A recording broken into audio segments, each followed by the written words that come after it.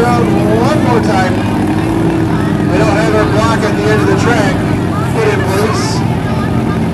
So we'll put that in place for our safety so the cars don't go flying off the track. 20 laps. Who's got the endurance? Billy Simpson gives a thumbs up. Hopefully he had a good enough tire rod put on.